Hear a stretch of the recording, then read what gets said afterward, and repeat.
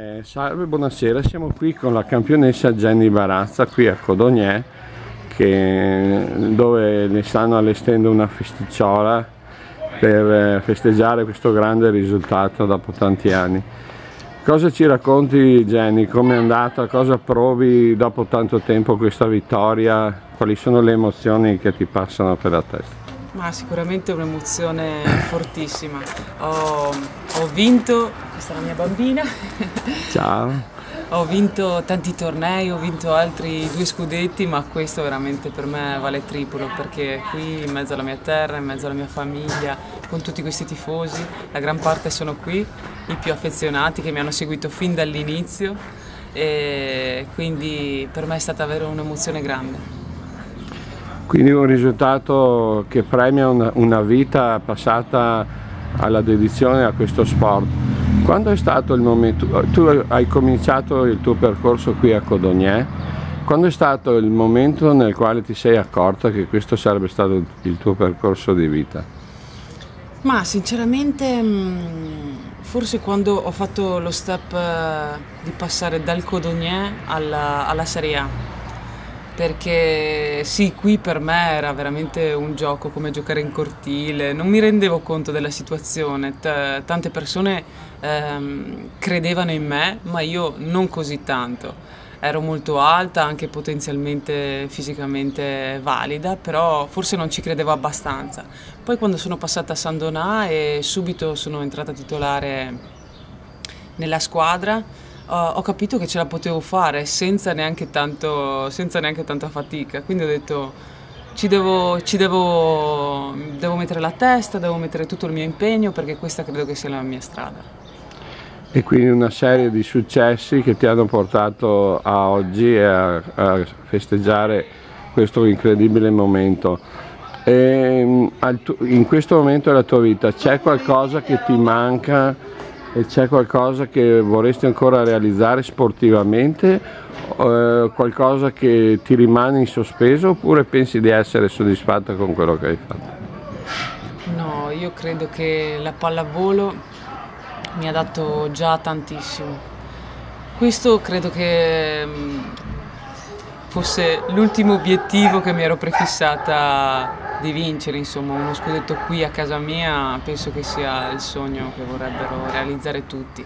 Sicuramente ora che l'ho realizzato, insomma, l'appetito viene mangiando.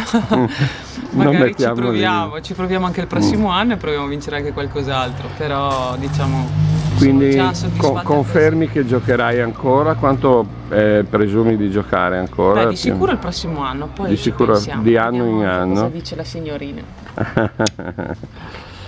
E, um, un, un, sogno nel cassetto di, di, di Jenny, ehm, di Jenny madre, moglie, persona non sportiva, c'è qualcosa che vorresti realizzare che non hai magari fatto a tempo di realizzare per la tua dedizione allo sport?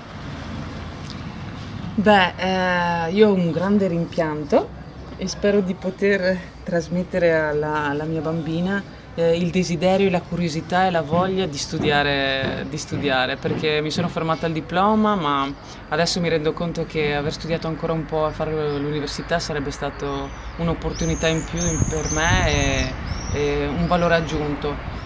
Io ci provo, ci provo e speriamo che Lulu voglia studiare tanto tanto tanto. Bene, e um, un messaggio che vorresti rilanciare a, ai giovani che si avvicinano a questo incredibile sport, eh, cosa, eh, eh, cosa, diresti in questi anni? Ehm, a chi si avvicina adesso allo sport, cosa diresti? Direi di viverla con la passione, con eh, il divertimento e con la voglia sempre di, di di raggiungere un obiettivo sempre più alto, mai fermarsi, mai accontentarsi, cercare sempre di più, rimanendo comunque umili e sapendo che ci vuole sempre rispetto per le altre persone e, e rispetto anche per gli allenatori, insomma, per chi, per chi lavora per seguirti e farti migliorare. Quanto conta per te eh, ritornare qui a Codognè nel tuo paese dove sei nata, dove hai vissuto, dove hai mosso i tuoi primi passi rispetto eh, a, a, a, te che sei diventato una cittadina del mondo, diciamo, hai viaggiato dappertutto, cosa rappresenta ritornare nel tuo paesino qui e vedere i, tu i tuoi amici? Eh, come ti senti? È un ritorno che ti dà felicità? Ti trovi bene qui o, o preferisci quando sei fuori per il mondo? No, qui sto bene. La curiosità, la curiosità e la voglia che avevo di, di viaggiare eh, diciamo, è un po' scemata nel tempo.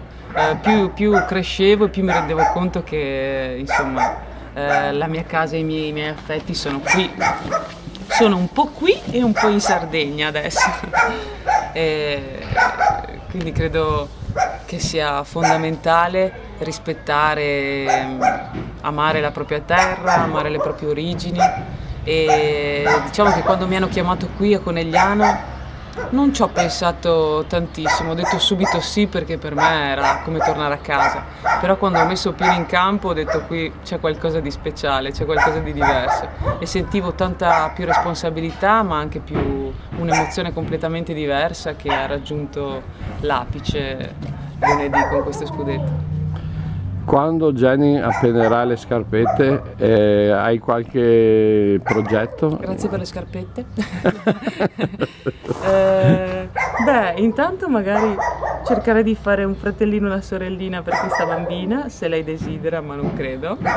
E e poi sì, eh, adesso stiamo, io e mio marito stiamo, abbiamo aperto anzi un'azienda di, di, liquore, di mirto artigianale, ah, eh, di alta qualità e cerchiamo di proseguire amando la terra e i suoi frutti. Quindi non nello sport ma in qualcosa di diverso ambito, sì.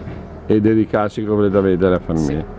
Bene Gianni, ti ringrazio e complimenti per il tuo risultato, è stato un piacere intervistarti questa sera e alla, al prossimo successo. Grazie mille. Grazie. grazie.